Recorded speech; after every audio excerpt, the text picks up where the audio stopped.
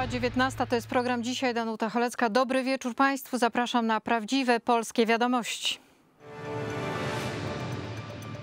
To jest nie ten człowiek. Jest, to jest, on jest zniszczony, wychudzony. Poruszające słowa mamy, która walczy o przywrócenie godności i dobrego imienia synowi. To będzie najszczęśliwszy dzień w moim życiu. Wtedy już mogę umrzeć spokojnie. Hi, Pedro. Hello, Mr. President. I, I, I'm so glad to see you.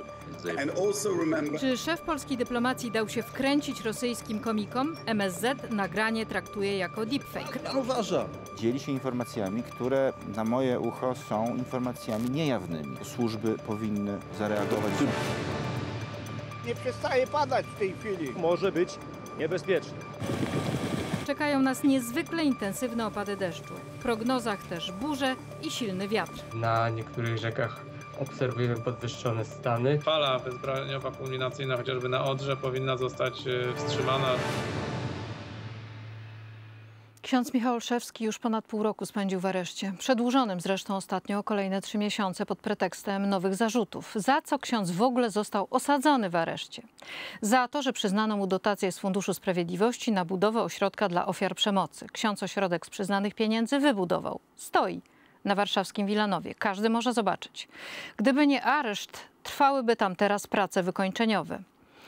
Obraz e, księdza skutego w kajdanki widzieliśmy kilka dni temu wszyscy. Przed aresztem, gdzie osadzony jest ksiądz Michał, zbierają się ludzie, którzy modlą się o uwolnienie go. O dobre imię syna walczy też jego mama. Mówi o jego cierpieniu, pomaganiu innym od najmłodszych lat. Mówi o poczuciu krzywdy i niesprawiedliwości. I jest przekonana, że prawda obroni się sama. Marcin Bakalarski. Ksiądz Michał Olszewski od ponad pół roku przebywa w areszcie. Dopiero wczoraj od czasu zatrzymania spotkał się z mamą. Nie ma połowy człowieka. To jest nie ten człowiek. Jest, to jest, on jest zniszczony, wychudzony, yy, przerażony. To przerażenie, te oczy, ja mówię, ja to zabiorę ze sobą do grobu. W jakim stanie jest kapłan mogliśmy zobaczyć, kiedy był przewożony z aresztu śledczego do sądu. Miał ręce skute. Tak. Nie wiem, czy żeby nie pobłogosławić, i tak pobłogosławił. I tak błogosławił tymi skutymi rękami. A co on Ksiądz Michał od samego początku zatrzymania był traktowany skandalicznie przez funkcjonariuszy ABW. Wszystko to opisał w liście. Gdy przyjechaliśmy na dołek, usłyszałem, że o tej porze już nic nie ma. Ani kolacji, ani wody. Ubłagałem połowę butelki wody z kranu przyniesionej w butelce, która pusta stała w celi. Rano, kiedy prosiłem, by zaprowadzono mnie do WC, usłyszałem, że masz butelkę po wodzie, lej do niej. O poszanowanie godności księdza zaapelował do polskich władz generał księży Sercanów. Jak to możliwe, że europejskiemu wymiarowi sprawiedliwości przytrafiają się takie rzeczy? Kwestia zatrzymania księdza Olszewskiego pokazuje e, to, że dzisiaj nie, nie żyjemy w normalnym, demokratycznym e, państwie, ponieważ te nagrania ze stacji benzynowej, nagrania z zatrzymania powinny od razu zostać ujawnione e, społeczeństwu, a to wszystko jest no, pewnie, e, pewnie bodnarowcy zobaczyli, co tam jest i stwierdzili, że lepiej powiedzieć, że to zginęło. Szokująca relacja i zupełnie niezrozumiałe traktowanie człowieka, zwłaszcza, że ksiądz ma nieposzlakowaną opinię wśród ludzi. Przez całe swoje życie niósł pomoc innym, o czym mówiła jego mama. Kiedy był dzieckiem, on zawsze miał rower zepsuty. Dlaczego? Bo on go nigdy dla siebie nie zatrzymał, bo inni nie mieli, to on im dał. Przywlókł takie straszne ptaszysko. Kruka znalazł gdzieś po drodze, który miał skrzydło naderwane. Tak sobie kiedyś o tym przypomniałam. I przywlókł to kruczysko, które mu później dał wody. Do babci poszedł po pszenicę. Ksiądz Michał również nie siedział z założonymi rękoma, kiedy wybuchła wojna na Ukrainie. Natychmiast ruszył na pomoc uchodźcom. W naszym domu przewinęło się tych ludzi multum. Myśmy z córką tylko pościel zmieniały, bo przyjeżdżali na dwa, trzy dni, bo Michał, profeto jako profeto pomagało. Yy, pracownicy profeto jeździli po tych ludzi na granicę. Pamiętam, zięć pojechał po jednych i tak, gdzie my ich mamy zawieźć, bo, bo tam, gdzie miało być miejsce, nie było. I śmiał się później. Zadzwoniłem do Michała. Michał, jak to gdzie? Do mamusi. Ksiądz, chcąc rozszerzyć swoją pomoc, chciał zbudować ośrodek, w którym schronienie miały znaleźć ofiary przemocy, jak na przykład matki z dziećmi. Dlatego złożył wniosek o dotację z Funduszu Sprawiedliwości. Środki dostał i rozpoczął dzieło pomocy. Jednak po zmianie władzy prokuratura Bodnara stwierdziła, że środki księdzu się nie należą. Główny zarzut dla księdza to brak spełnienia wymogów formalnych w statucie Fundacji Profeto i merytorycznych, czyli brak doświadczenia w tego typu przedsięwzięciach. Nawet prokuratura nie stawia księdzu zarzutu, że miał chociaż złotówkę wziąć do ręki. Chyba nie było bardziej właściwego celu do przeznaczenia środków z, yy, z Funduszu Sprawiedliwości niż yy, ta inwestycja, którą realizowała Fundacja Profeto. Narracja prokuratury Bodnara jest tym bardziej kuriozalna, bo sam Adam Bodnar Ogłosił teraz konkurs e, znowu na, e, na działania Funduszu Sprawiedliwości, kompletnie nie zmieniając regulaminu. Mimo decyzji sądu apelacyjnego o nieprzedłużaniu aresztu dla księdza Michała, Sąd Okręgowy w Warszawie na wniosek prokuratury Bodnara zadecydował o dalszym areszcie dla kapłana. To jest niestety tak, że otoczka polityczna niweluje wszelkie racjonalne rozumowanie, e, czy to prawników, to osób postronnych, które obserwują zjawiska, które nas oznaczają. Kiedy polityka wchodzi jednymi drzwiami, to drugimi wychodzi sprawiedliwość. Modlitwy za księdza Olszewskiego płyną z całej Polski. Co czwartek pod aresztem zbierają się ludzie dobrej woli, aby pokazać, że kapłan nie jest sam. Mama, która walczy o przywrócenie godności i dobrego imienia swojemu synowi, ma nadzieję, że... Prawda sama się obroni. A dzień, w którym usłyszymy, że ksiądz Michał Olszewski jest niewinny i to wszystko było nagonką, To będzie najszczęśliwszy dzień w moim życiu. Wtedy już mogę umrzeć spokojnie. Marcin Bakalarski, Republika.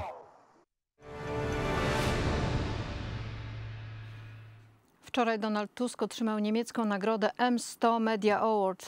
W imieniu szefa rządu wyróżnienie odebrał minister sprawiedliwości Adam Bodnar, a laudację wygłosił były prezydent Niemiec Joachim Gauck. Niemcy docenili sposób, w jaki Donald Tusk przywraca w Polsce praworządność. Widocznie demokracja walcząca jest zgodna z niemieckim kodem kulturowym. Paweł Włoch.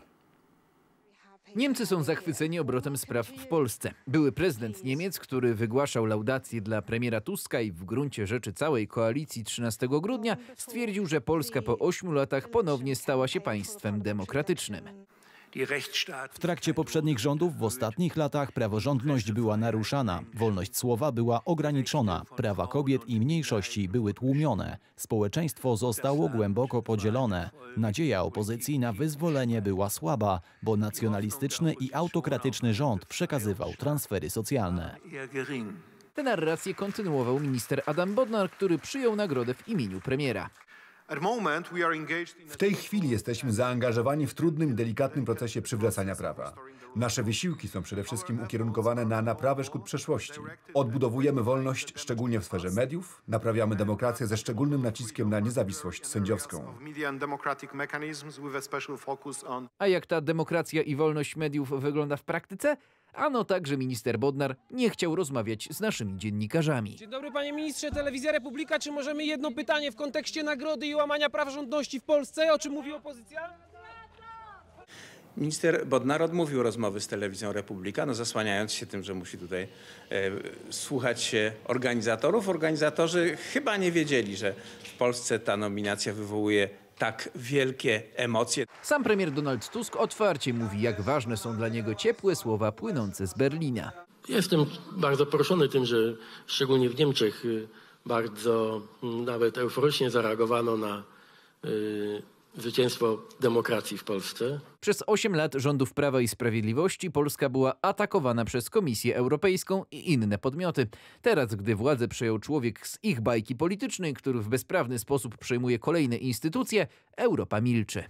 To jest pewien system dystrybucji e, prestiżu, który Unia Europejska rozwinęła bardzo dokładnie. Znaczy są dobrzy i źli. Ci dobrzy obsypywani są nagrodami. O tym, jak Niemcy rozumieją państwo prawa, mogliśmy się przekonać już kilka miesięcy temu, kiedy publicysta Klaus Bachmann dokładnie zapowiedział, co będzie robił rząd Donalda Tuska.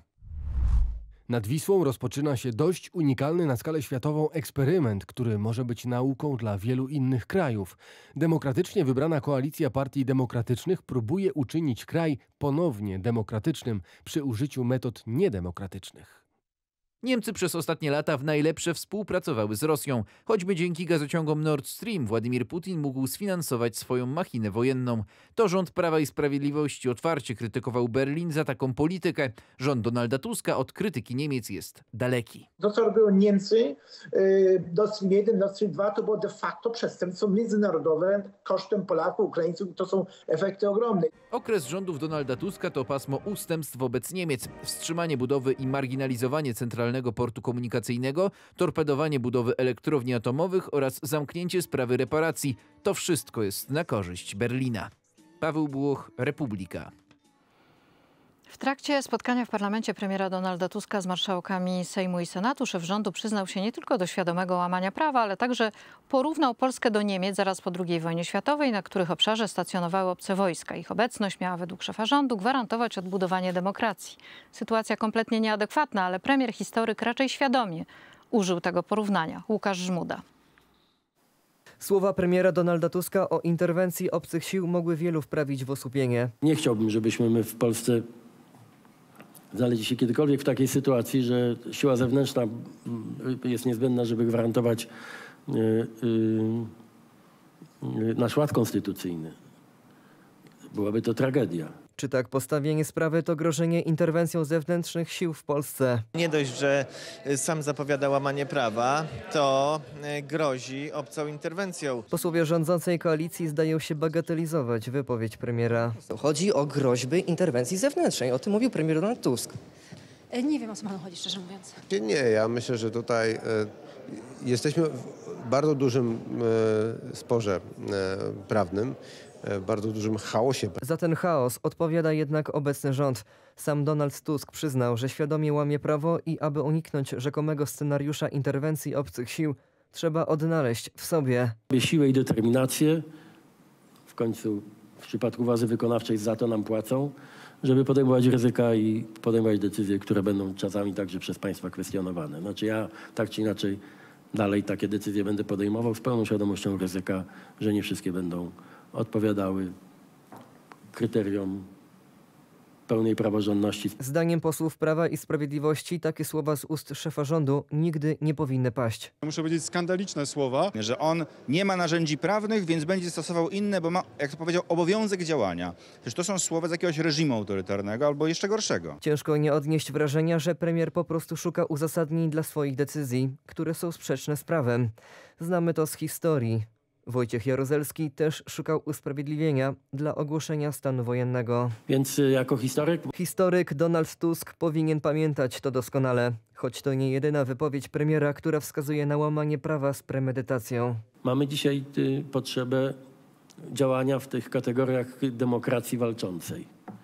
To znaczy pewnie jeszcze nieraz popełnimy błędy albo popełnimy czyny, które według niektórych autorytetów prawnych będą niezgodne albo nie do końca zgodne z zapisami prawa, ale nas nic nie zwalnia z obowiązku działania każdego dnia. Konstytucjonaliści i prawnicy nie mają wątpliwości, że Donald Tusk nie zabiega o przestrzeganie prawa w Polsce. To, co się dzieje w tej chwili, nie ma nic wspólnego z obroną praworządności, obroną demokracji. Moim zdaniem nic a nic. Łamanie norm moralnych, ale wprost łamanie również norm e, prawnych, czyli tego wszystkiego, co stanowi o porządku konstytucyjnym e, każdego kraju. Jeżeli to skonfrontujemy e, z, histori- z historią, no to widzimy, że wszystkie dyktatury właśnie zaczynały się od tego. Od 13 grudnia 2023 roku rządzący dokonali m.in. nielegalnego przejęcia mediów publicznych i prokuratury krajowej.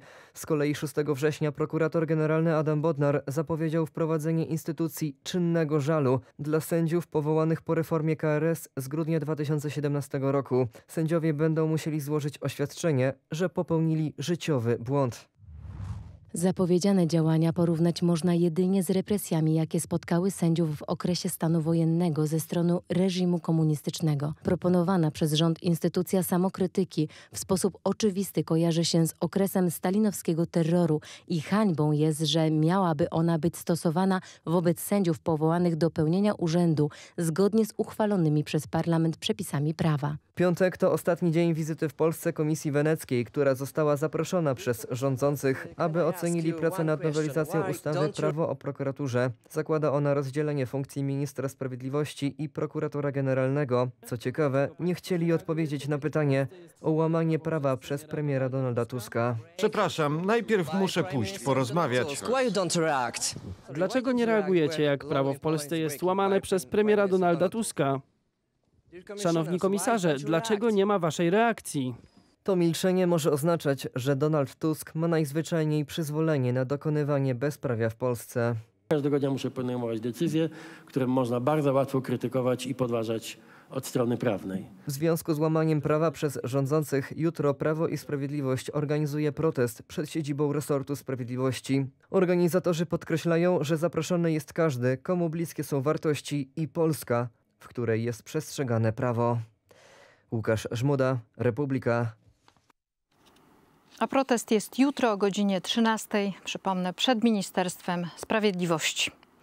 Wirtualna Polska sprawdziła źródła finansowania tegorocznej edycji kampusu Polska Przyszłości. Na ten cel z pieniędzy samorządów oraz instytucji publicznych wpłynęło albo ma wpłynąć blisko milion złotych. Z podobnych źródeł finansowane były poprzednie edycje kampusu. Również w ubiegłym roku, kiedy miejsce miała kampania wyborcza, na kampusie występowali politycy związani z PO, nie szczędząc ciepłych słów dla kandydatów ich partii. Dlatego Prawo i Sprawiedliwość zarzuciło PKW, że nie wzięła pod uwagę zawiadomień składanych e, przez tę partię dotyczących m.in. finansowania kampusu Polska Przyszłości.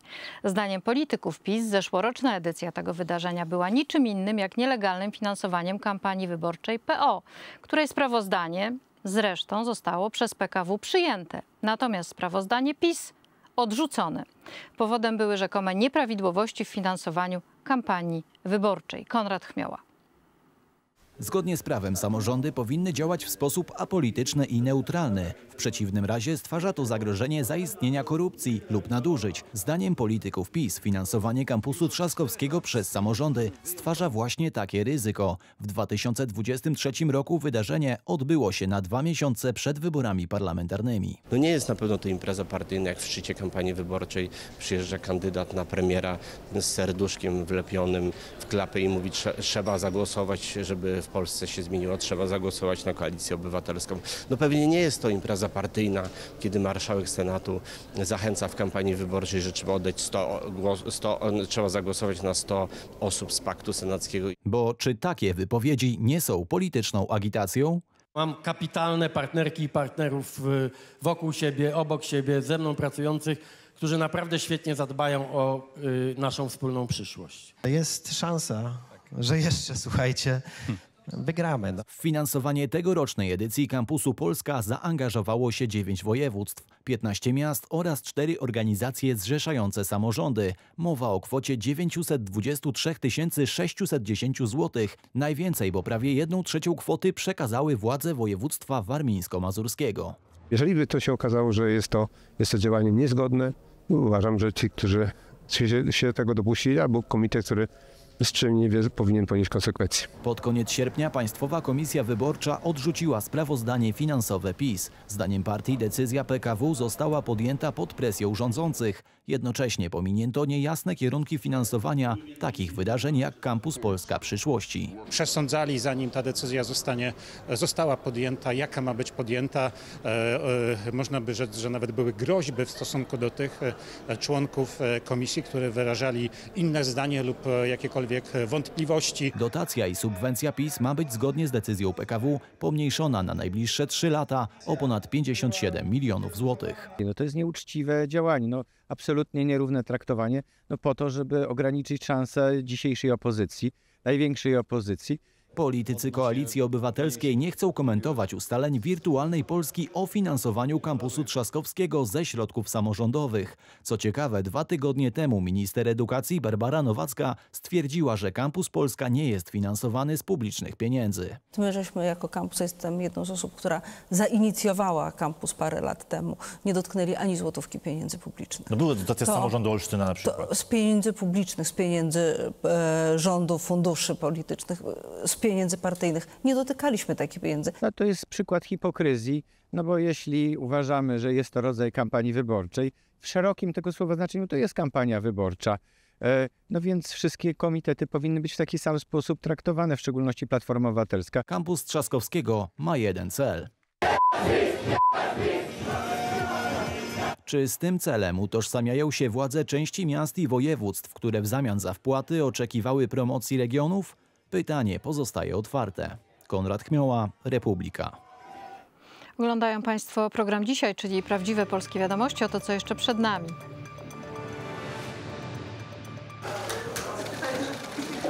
Co z obiecanym Polakom kredytem 0%? Wygląda na to, że nie będzie.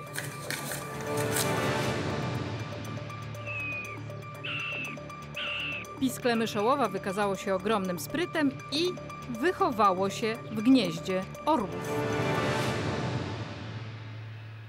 Rząd już szuka usprawiedliwienia dla braku realizacji swojej flagowej obietnicy dla młodych. Kredytu 0% najprawdopodobniej nie będzie, albo nie będzie dla wszystkich, albo nie bez oprocentowania. Przyszłoroczny budżet jest obarczony zatrważającym zadłużeniem, a oszczędności już widać w emeryturach. Jak mocno zaciskać pasa będą musieli seniorzy? Dzisiaj sprawdza, mówi Edyta Hołdyńska. Kredytu 0% najprawdopodobniej nie będzie, będzie za to rekordowe zadłużenie i niższa waloryzacja emerytur. To są prognozy na przyszły rok. Jak widzimy, deficyt będzie sięgał aż 289 miliardów złotych, a zadłużenie może sięgać nawet blisko 60%. Jak to będzie wyglądało i dlaczego oszczędności rząd szuka wśród najsłabszej grupy społecznej, wśród emerytów? Dzisiaj sprawdzam. Nigdy nie było nazwy kredytu 0%. Wyjaśnijmy sobie, że w tym programie 0% mogą uzyskać tylko rodziny wielodzietne. Każdy inny uczestnik takiego e, programu będzie miał e, kredyt oprocentowany, więc mówienie w ogóle o tym, narzucenie właśnie takiego hasła, że to jest kredyt 0%, z gruntu jest fałszywe, kłamliwe i nieprawdziwe. Tyle, że dokładnie o kredycie 0% mówił Donald Tusk. Kredyt 0% dla ludzi, którzy będą kupowali swoje pierwsze mieszkanie. Jeśli wygramy i wprowadzimy program kredyt 0%, Koalicja nie może się w tej sprawie porozumieć. Do tego ma poważne kłopoty z finansowaniem swoich wyborczych obietnic. Myślę, że wprowadzimy kredyt 0% i siła nie będzie wymagana. Rozmawiamy na ten temat między ministrami. Dogadacie się czy nie? Myślę, że się dogadamy. Oszczędności rząd już poszukuje wśród najsłabszych grup społecznych. 14 emerytura będzie niższa o 869 zł niż rok wcześniej. Emeryci są zachęcani ustami minister rozwoju do dłuższej pracy, a wiek emerytalny Wiek emerytalny e, był kiedyś słusznie podniesiony, niesłusznie został obniżony, ale dzisiaj to jest decyzja w rękach e, polityków. Po latach, kiedy waloryzacja emerytur wynosiła kilkanaście procent, rząd uznał, że drugiej waloryzacji emerytur i rent na razie nie będzie. Potem wróci czas, że waloryzacje będą groszowe. Sięgną zaledwie 2-3%. Emeryci nie stracą pieniędzy, jeśli będą nadal pracować. Pieniądze dla seniorów obiecuje Katarzyna Pełczyńska-Nałęcz, by nie brali pieniędzy z ZUS. Ale odroczone będą wówczas czternastki. Co się dzieje? Rząd e, szuka oszczędności. E, Część tych oszczędności wywołuje kolejne e, takie procykliczne, czyli spowolnieniowe działania, bo ograniczane są też inwestycje, ale dostało się także, czy ma się dostać emerytom. Na debacie, w debacie tej koalicyjnej toczy się też dyskusja na temat kredytu, wsparcia dla budownictwa mieszkaniowego, czy kredyt 0% powinien zostać wprowadzony. To są dodatkowe koszty dla budżetu, ale też w rządzie podnoszą się głosy, że tak naprawdę jest to podniesienie cen i wsparcie, bardzo mocne wsparcie deweloperów. Program miał być dla ludzi młodych, którzy zostali bez wsparcia po wygaszaniu innych programów mieszkaniowych, a nie dla deweloperów. Kredyty w Polsce już dziś są najdroższe w Europie. Edyta Hołdyńska, Republika. Rosyjscy komicy mieli nagrać rozmowę z Radosławem Sikorskim. Przekonany, że rozmawia z byłym prezydentem Ukrainy Petro Poroszenką, szef polskiej dyplomacji mówił o planach NATO dotyczących wojny z Rosją, podejściu państw europejskich do włączenia Ukrainy w struktury Unii Europejskiej i NATO, a także o kulisach wysadzenia gazociągów Nord Stream. Wszystko to w zwykłej, niezabezpieczonej w żaden sposób rozmowie internetowej. W internecie zawrzało.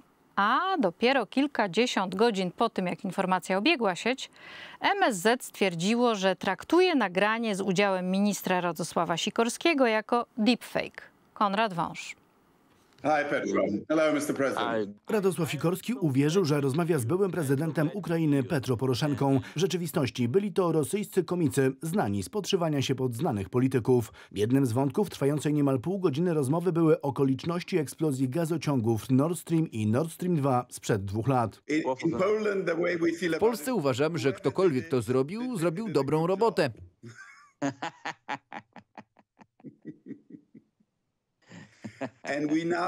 I teraz wiemy, że Amerykanie wiedzieli o tym i nie zapobiegli temu. Sikorski przyznał też, że w zachodniej Europie, która oficjalnie wspiera Ukrainę, nie ma zgody na pełne zaangażowanie w tej sprawie. Wiesz dobrze, tak samo jak ja, że nie ma zgody na wojnę z Rosją w zachodniej Europie. To jest absolutnie czerwona linia. Poruszona została także kwestia ewentualnego wstąpienia Ukrainy do NATO. Tu też oficjalna wersja różni się od prawdziwych intencji państw Zachodu, które w rozmowie z Rosjanami zdradził Sikorski. Uważam, że część naszych zachodnioeuropejskich przyjaciół wykorzystuje ideę wstąpienia Ukrainy do NATO jako karty przetargowej wobec Rosji, co może nie jest złym pomysłem. Wiesz, wy odpuścicie Ukrainie, a my obiecujemy, że Ukraina nie wejdzie do NATO, ale jeśli zamrozicie konflikt, to część Ukrainy wejdzie do NATO. Sikorski dodał, że proces wstąpienia Ukrainy do Unii Europejskiej zajmie co najmniej 10 lat i że kwestia ewentualnej akcesji Kijowa nie jest na rękę Berlinowi. Pamiętaj, że to jest kwestia władzy w Unii Europejskiej. Ukraina jest dużym państwem, więc po akcesji balans siły wewnątrz Unii zmieniłby się. Ukraina i Polska miałyby wspólnie więcej głosów w Parlamencie Europejskim niż Niemcy. Wszystko to Sikorski powiedział w rozmowie przeprowadzonej bez żadnych zabezpieczeń przez zwykły komunikator internetowy. On tam dzieli się informacjami, które na moje ucho są informacjami niejawnymi. Ja to będę też sprawdzał, no, będę wysyłał dzisiaj interpelację w tej sprawie, będziemy też domagali się informacji, jak do tego doszło, co służby w tej sprawie zrobiły, dlatego że no, jeśli dochodzi do czegoś takiego już nawet post factum, no to służby powinny zareagować. To nie pierwszy już raz, kiedy Radosław Sikorski mówi więcej niż powinien. Tuż po wysadzeniu gazociągów Nord Stream opublikował w internecie podziękowanie dla Stanów Zjednoczonych. Thank you, USA. Wpis ten wykorzystała nie tylko kremlowska propaganda. Rosjanie cytowali wtedy słowa Sikorskiego w czasie Rady Bezpieczeństwa ONZ. W 2014 roku w rozmowie z Politico powiedział też, że Władimir Putin już w 2008 roku proponował Donaldowi Tuskowi rozbiór Ukrainy. W latach 80. zdradził, że afgańscy mujahedini w czasie wojny z Rosją byli wspierani przez Stany Zjednoczone i korzystali z amerykańskiej broni. Ale kiedy rosyjscy pranksterzy zadzwonili do prezydenta Andrzeja Dudy, Sikorski nawoływał go do dymisji. Zastanawiam się, czy za taką recydywę powinien wywalić połowę kancelarii, czy sam siebie. Wtedy jednak rozmowa Andrzeja Dudy trwała zaledwie 7 minut, bo według kancelarii prezydent szybko zorientował się w sytuacji. Co ciekawe, w przypadku Sikorskiego dopiero po kilkudziesięciu godzinach od publikacji, kiedy nagranie zdążyło już rozgrzać internautów do czerwoności, rzecznik MSZ powiedział, że, tu cytat, traktuje nagranie z udziałem ministra Radosława Sikorskiego jako deepfake. Konrad Wąż, Republika. To była noc ciężkich walk na wschodnim froncie. Ukraińcy przeprowadzili udany atak na rosyjskich żołnierzy, niszcząc czołgi i wozy opancerzone. Ale w obwodzie kurskim w Rosji, gdzie przedostały się ukraińskie wojska, barbarzyńcy Putina coraz skuteczniej zatrzymują kontrofensywę Kijowa. Żołnierze czekają na broń dalekiego zasięgu, która pozwoli atakować cele w głębi Rosji. Marcin Szewczak. Brawurowa akcja ukraińskich wojsk. Tylko w jednym ostrzale wróg stracił 26 czołgów i pojazdów opancerzonych, których celem byli ukraińscy cywile. Ze względów taktycznych służby nie podały dokładnej lokalizacji. W okolicach Krymu zestrzelony został rosyjski myśliwiec Su-30, a także 24 drony bojowe typu Shahed. Wiadomo, że oprócz sprzętu Rosjanie stracili też ponad 1200 żołnierzy. Ukraińska kontrofensywa trwa. Nasze operacje tu w rejonie kurskim są dobrze zaplanowane. Staramy się atakować i minimalizować straty. Jednak z frontu dochodzą nie tylko dobre wiadomości. W obwodzie kurskim, do którego ponad miesiąc temu wkroczyli Ukraińcy, sytuacja zaczęła się odwracać. Rosjanie zebrali siły i trafiają w ukraińskie cele. Rosjanie zaczęli akcje odwetowe wobec naszych ataków w Kursku. To odpowiedź na nasz plan. Widzimy też, że Białorusini gromadzą zapasy broni przy granicy z Ukrainą.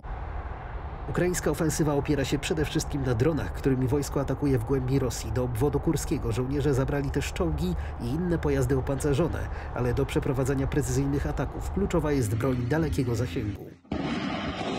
Zachód musi e, jednoznacznie e, dać e, Ukrainie zdolność do rażenia skutecznych celów militarnych, czyli fabryk amunicji, fabryk zbrojeniowych, systemów infrastruktury krytycznej, szczególnie jeśli chodzi o, o zasoby ropy, jeśli chodzi o rafinerię. Amerykański system rakietowy Atakams typu Ziemia-Ziemia oraz ich brytyjskie i francuskie odpowiedniki dawałyby Ukrainie możliwość ataków nawet na 250 rosyjskich baz wojskowych, m.in. w Woronerzu czy Rostowie nad Donem. Putin twierdzi, że przekazanie takiej broni Ukrainie przez państwa NATO oznaczałoby, że sojusz aktywnie włącza się do wojny i grozi odwetem nie tylko na Ukrainę. Tego też obawia się amerykański prezydent Joe Biden. Bardziej przychylne są kraje bałtyckie, też bezpośrednio narażone na rosyjską agresję. To usprawiedliwione, by Ukraina mogła użyć takiej broni atakując infrastrukturę militarną Rosji. Jesteśmy za takim rozwiązaniem i mamy nadzieję, że Stany Zjednoczone i Wielka Brytania na to zezwolą.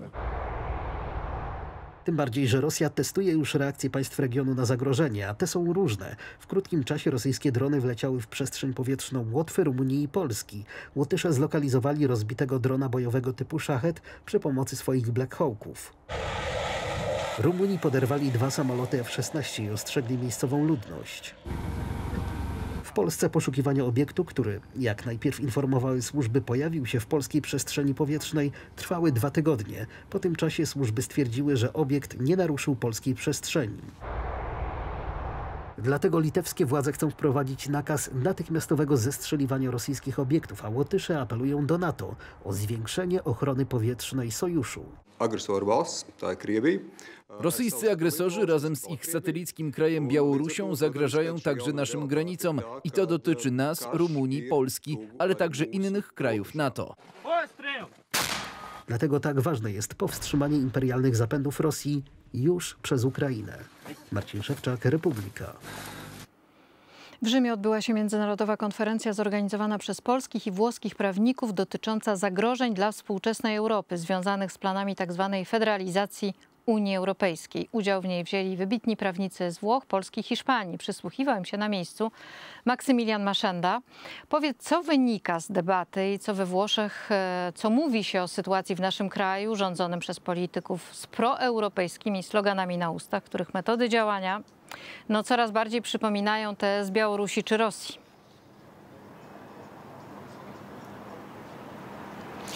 O ile sama sprawa chociażby księdza Olszewskiego dla nikogo z dyskutujących e, tutaj w Rzymie nie była e, nowością, o tyle skala prawniczej patologii i bezprawia ze strony polskich władz e, już tak. Dyskutujący tutaj we włoskim Senacie prawnicy i politycy, czy to z Włoch, czy z Hiszpanii, z niedowierzaniem patrzą na to, co od kilku miesięcy dzieje się w Polsce, ale dyskusja dotyczyła szerszego faktycznie tematu, a więc całej Unii Europejskiej, jej realnych, coraz większych problemów wynikających z lewicowej agendy e, i z tych pomysłów e, i działań obecnych europejskich władz. Dobra wiadomość jest taka, że coraz więcej osób również tutaj e, we Włoszech zdaje sobie sprawę z tych problemów i wyzwań, przed którymi stoi Unia Europejska i szuka realnych rozwiązań.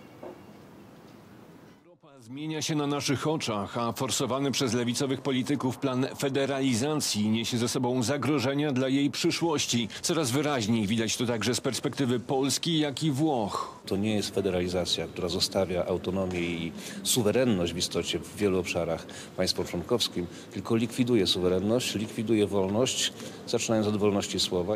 Konferencję w samym sercu Rzymu we włoskim Senacie zorganizowały dwie uczelnie. Polska Szkoła Główna Mikołaja Kopernika i Rzymski Uniwersytet Foro Italico. Tutaj są też te szczególne relacje włoskie e, właśnie między uczonymi włoskimi, między ekspertami, osobami, które po prostu oceniają rzeczywistość i również formują różne wnioski co do przyszłości Unii Europejskiej. A przyszłość Unii Europejskiej za sprawą lewicowych brukselskich elit staje się coraz bardziej niepewna. Znajdujemy się w bardzo szczególnym momencie, w którym musimy zadać sobie pytanie, czym jest Unia Europejska i jaka ma być jej rola. To organizacja, która wpływa na nas wszystkich, na ludzi, na populację, na prawo, na państwa, co prowadzi do nieuniknionych konfliktów. W Rzymie już wkrótce ma powstać Polsko-Włoski Instytut Praw Obywatelskich, zajmujący się coraz częstszymi przypadkami naginania i łamania praw przez rządy i instytucje w Europie. Z doświadczeń ostatnich lat wynika, że jest to niezwykle potrzebne. I jestem dumny, że będzie on mógł działać w miejscu tak szczególnym i symbolicznym jak Rzym. Na konferencji silnie wybrzmiał także wątek nowych zagrożeń związanych z coraz bardziej otwartym łamaniem prawa przez rządzących w Polsce, wspieranych przez Niemcy i Brukselę. Ksiądz Michał Olszewski jest y, przykładem tego, w jaki sposób traktuje się podstawowe wolności, prawa człowieka i cieszę się, że dzisiaj tutaj w Senacie y, włoskim w Rzymie, w samym centrum historycznym Rzymu, który jest kolebką naszej cywilizacji, możemy mówić o tym, co dziś się dzieje w Polsce i uświadamiać opinii międzynarodowej, y, z jakim zagrożeniem mamy do czynienia. E, historia z nas zresztą takie Głos na konferencji zabrał również Michał Skwarzyński, obrońca przetrzymywanego i torturowanego księdza Olszewskiego. To jest oczywiście rzecz dla Włochów kompletnie bulwersująca, bo dla nich zamknięcie księdza, księdza prowadzenie w kajdankach, używanie kajdanek przez cały dzień, e, no to są rzeczy kompletnie niezrozumiałe. Podobnie jak wiele innych przykładów jawnego łamania prawa przez rząd Tuska w Polsce, o których coraz głośniej, także tutaj, we Włoszech. Maksymilian Maszenda, Republika, Rzym.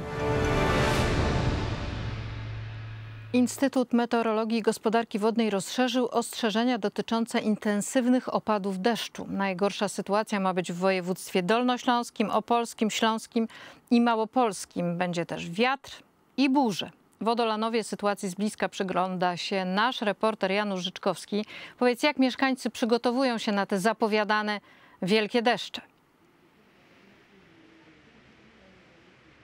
Dobry wieczór. Odolanów e, to już e, województwo wielkopolskie i tutaj na południowych krańcach Wielkopolski również e, spodziewane są istotne i intensywne opady deszczu. Mieszkańcy przygotowują się od wielu godzin tutaj przed remizą strażacką, w której, przed którą się w tej chwili znajduję.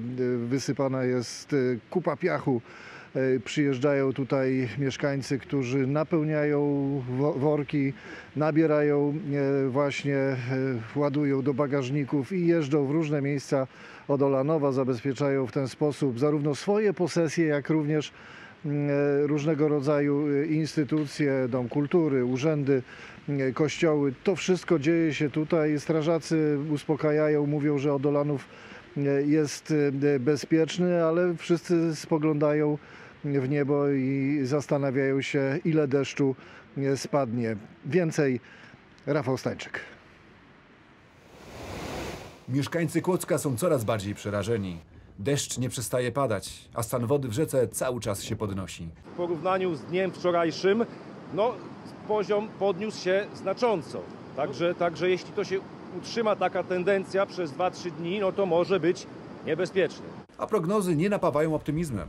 Zapowiadają się trzy dni intensywnych opadów. Powołano już powiatowy zespół zarządzania kryzysowego. Strażacy są w pełnej gotowości. Wydano też trzeci, najwyższy stopień alertu. W ciągu najbliższych dni może spaść nawet ponad 200 litrów wody na metr kwadratowy. No, bardzo się boję, bo są duże opady deszczu i nie przestaje padać w tej chwili. Do walki z żywiołem szykuje się też Ostrów Wielkopolski. Wszystkie służby są już zmobilizowane, gotowe do walki z żywiołem i do udzielania pomocy mieszkańcom. Jak widać e, sypią piasek, pomagają w umocnieniu wałów, przewożą, mieszkańcy tak samo przyjeżdżają po, po piasek, słuchają wiadomości, stosują się na szczęście do poleceń, także nie ma na chwilę obecną żadnych, żadnych złych e, przesłanek. Ulewne deszcze to sprawa niżu genueńskiego, który przyniósł opady w dużej części Europy. W Polsce najgorsza sytuacja będzie w województwach dolnośląskim, opolskim, śląskim i małopolskim. Kolejnym zagrożeniem będzie wiatr w podmuchach osiągający prędkość nawet do 80 km na godzinę. Y, na niektórych rzekach obserwujemy podwyższone stany i to będzie y, chyba głównym zagrożeniem to, co będzie się działo na rzekach i w pobliżu tych rzek. Y, ale też i w miastach w jakiejś większej odległości od rzek, w zagłębieniach terenu, różnych tunelach, przejściach ta woda też może się gromadzić. Mieszkańcy południowo-zachodniej Polski boją się powtórki z lipca 1997 roku, kiedy to fala powodziowa zalała okolice Kłodzka i następnie zatopiła część Wrocławia. Pamięć o tamtych wydarzeniach jest wciąż żywa. Obawiam się, bo mieszkam na parterze na Malczewskiego i może być to samo, co było w 97. Straż pożarna uspokaja i twierdzi, że służby wyciągnęły odpowiednie wnioski z tamtych tragicznych wydarzeń. Te zbiorniki retencyjne są e, puste, one mogą e, przyjąć bardzo dużą ilość wody, e, więc ta fala bezbraniowa kulminacyjna chociażby na Odrze powinna zostać wstrzymana czy, czy powstrzymana. Ale mimo wszystko deszcz czy opady deszczu będą bardzo intensywne. A to może spowodować tak zwane powodzie błyskawiczne. Zjawisko to najlepiej widać na tych zdjęciach. W Słowenii w ciągu zaledwie kilku godzin spadła kilkumiesięczna norma opadów. Efekt był łatwy do przewidzenia. Synoptycy zapowiadają, że deszcz powinien przestać padać dopiero w poniedziałek rano. Rafał Stańczyk, Republika. Czy pech w piątek 13 to rzeczywistość? Skąd się to w ogóle wzięło? Mateusz Nowak postanowił sprawdzić, czy dziś ten pech faktycznie dosięga nas bardziej niż zazwyczaj. Dziś nawet koszula w kwiaty nie pomoże. Dziś chmury na niebie i brzydko na dworze. Bo choć weekend się zbliża i trochę wolnego, niestety moi mili, to piątek 13. Niektórzy najchętniej w ten dzień nie wychodziliby z domu. Przeraża mnie. Boi się pan trochę? Boję się, bo zawsze mam pecha. Zazwyczaj mm, był trochę pechowy, a dzisiaj wszystko pozałatwiałem, tak jak potrzeba. Na szczęście większość pytanych nic z piątku 13 sobie nie robi. Dzień każdy inny. 13 to jest bardzo dla mnie naj, najpiękniejsza liczba, więc się niczego nie obawiam. Jesteśmy na miłym spacerze z rodziną, nic nie zapowiada jakiegoś strasznego pecha. Czyli niektórzy się boją, inni nie. Jest jeszcze trzecia opcja. Czy pan się nie obawia tego dnia? Eee, obawiam się jak każdego następnego. Dziękuję ślicznie. Czyli ten pan ma piątek 13 codziennie. Ale na przykład w Grecji czy Hiszpanii pechowy jest wtorek 13, a we Włoszech piątek 17. I bądź tu mądry. Wszystko zależy od nas i naszego nastawienia do tego dnia. Kiedy wstaniemy rano i będziemy przekonani, że tego dnia właśnie spotka nas coś bardzo dobrego, to bardzo może się okazać to prawdziwe. W tym roku piątek 13 wypada jeszcze w grudniu. Postanowiliśmy więc sprawdzić, czy w całym tym pechowym zamieszaniu potrafimy zachować chłodną głowę. A nie przeraża pana to, że w tym roku Wigilia wpada w piątek 13? Nie przeraża. Może to będzie szczęście. Nie, nie wiedziałem tego nawet, ale pewnie moja mama będzie zaniepokojona. Nie przeglądam kalendarza pod względem imienin, jakichś rocznic, świąt. Tak, wiem, że w grudniu są Boże Narodzenie, wiem, że jest Wielkanoc, prawda, i Wigilia. Że Wigilia w grudniu niekoniecznie 13 to ok, ale Wielkanoc to już grubo pan poleciał. Nie, nie wypada 13 w piątek Wigilia. A dobrze. O, tylko 24. Brawo. Tak więc dziś życzymy Państwu dużo uśmiechu i szczęścia. Te bożonarodzeniowe życzenia złożymy w Wigilię, tradycyjnie 24 grudnia. Mateusz Nowak, Republika. Bezczelność, wiara w siebie, chęć przetrwania, może ambicja, albo po prostu niebywały spryt. Nie wiadomo, co przyświecało myszołowowi, który prawdopodobnie miał skończyć jako kolacja dla orlich piskląt, ale zamiast wylądować na orlim talerzu, postanowił zostać jednym z nich. Lubelskie Towarzystwo Ornitologiczne opublikowało filmik z jednej z fotopułapek, na którym widać tę nietypową rodzinkę. Wyklute przyrodnie rodzeństwo uznało go za swojego. I tak mu jakoś czas zleciał do dorosłości. Myszołów to średniej wielkości ptak drapieżny, rozpiętość jego skrzydeł może wynosić do 130 cm. Upierzenie myszołowa jest na tyle zmienne, że trudno znaleźć dwa identycznie upierzone ptaki. Myszołowie wiążą się w pary na bardzo długie lata lub nawet do końca życia. Są monogamistami. Na terenie dawnej fabryki FSO na warszawskim Żeraniu od dziś w nowej odsłonie działa Muzeum Motoryzacji. To gratka dla wielbicieli starych aut, ale i swoista podróż w czasie, bo oprócz wiekowych czterech kółek w muzeum znajduje się także klasa szkolna z lat 60., a na miejscu była Anna Popek. Od dzisiaj Muzeum Motoryzacji na warszawskim Żyraniu w nowej odsłonie i w nowej aranżacji. Co mogą tu Państwo zobaczyć? Zapraszamy na podróż w przeszłość. Jesteśmy na terenie byłej fabryki FSO w warszawskim Żeraniu. To jest hala lakierni.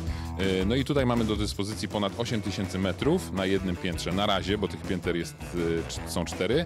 Y, No i tutaj ustawiliśmy ponad 230 samochodów, 40 motocykli i 30 rowerów. Te samochody, mogę powiedzieć z ręką na sercu, że w większości są na chodzie. To są samochody prywatnych osób, osób, które są związane z tym miejscem, y, kolekcjonerów i oni udostępnili nam te samochody. Widok y, takich samochodów y, z napisem milicja może w niektórych z naszych widzów wzbudzić mieszane albo bardzo niemiłe uczucia, więc może dla załagodzenia nieco emocji wejdźmy do dawnej szkoły.